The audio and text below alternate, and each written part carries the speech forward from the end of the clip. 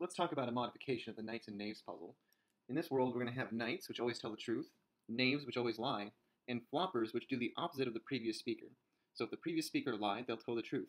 If the previous speaker told the truth, then they'll lie. If they're the first speaker, you don't know which conversations they were in the past, so they could either tell the truth or lie. So it, it, you never know what they're going to do if they're the first speaker. In this world, let's come across three people. A, B, and C. You can't tell if they are knights, knaves, or floppers, and you don't know how many of each type there are. And if we go through these following statements that they say in order, A says, we are all floppers. B says, C is going to lie. C says, B is a knave. And then A says, B and C are the same type. Now we want to evaluate from these statements what they are.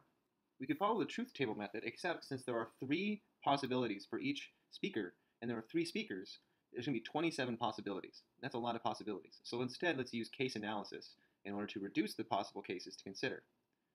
As an example, what we can do is we can say A says that we are all floppers. If that's true, then C's statement that B is a knave is false. And therefore, B's statement that C is going to lie is true. However, if A says we're floppers and said told the truth, and then B told the truth, then B was not a flopper. Therefore, it is not possible that A told the truth. Let's just go over that one more time. If A said the truth, then C lied, but means that B told the truth, so B is not a flopper. Therefore, this statement is not true.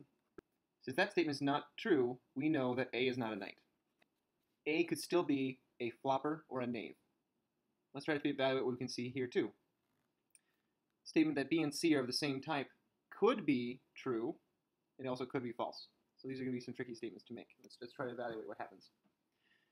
If A is lying, then we get some information about B and C. And if A is telling the truth, then we get about information about B and C. Therefore, let's test the cases of A's truth and falsehood here. Specifically, if A says true here, then A is a flopper. If A's second statement is true, then A is a flopper. And if the second statement is true, then B and C are the same type. So either they're both knights, knaves, or floppers. They can't both be floppers because we know that all three of them cannot be floppers. If they're both knaves, then C is telling the truth, but C would not be telling the truth, being a knave. If they're both knights, then C would be lying. Therefore, this is not going to happen. So now we've determined that B and C are of different types, and A's statement, both of A's statements are false.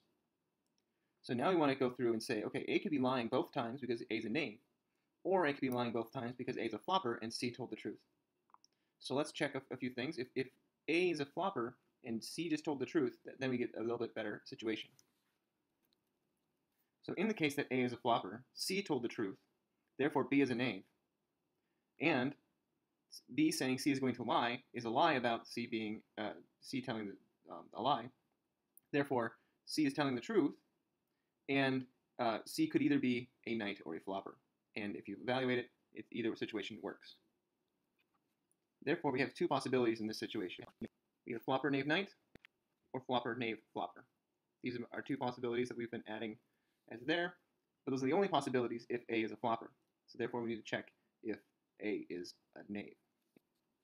If A is a knave, then we don't know anything about C's truths of this statement. So if A is a knave, then C or, could lie or tell the truth. So tell, if C tells the truth, we know something about B. So let's see what that is. So if C tells the truth, then B is a knave and lied, which is consistent because C is going to lie as a lie. C told the truth. And since B lied, C could be a flopper because C is telling the truth. Therefore, C could either be a flopper or a knight. If C is a liar, then if C is lying, B is not a knave, and B is telling the truth. If B is telling the truth about C lying, that's fine. So B is either a knight or a flopper, and B is telling the truth. C is lying, so C is either a knave or a flopper. So here I've evaluated all the possible situations where B is telling the truth and C is lying. However, look at this last one, knave, flopper, flopper. That means that B and C are the same type, which we have already evaluated to not be true. Therefore, this is not a possibility. So B and C are not the same type. Therefore, we end up with 1, 2, 3, 4, 5, 6, 7 possibilities out of our possible 27. Flopper, knave, knight, flopper, knave, flopper, knave, knave, knight, knave, knave, flopper, knave, knight, knave, knave, knight, flopper, and knave, flopper, knight. And therefore, by using case analysis, we're able to evaluate all the possibilities of the three types of people.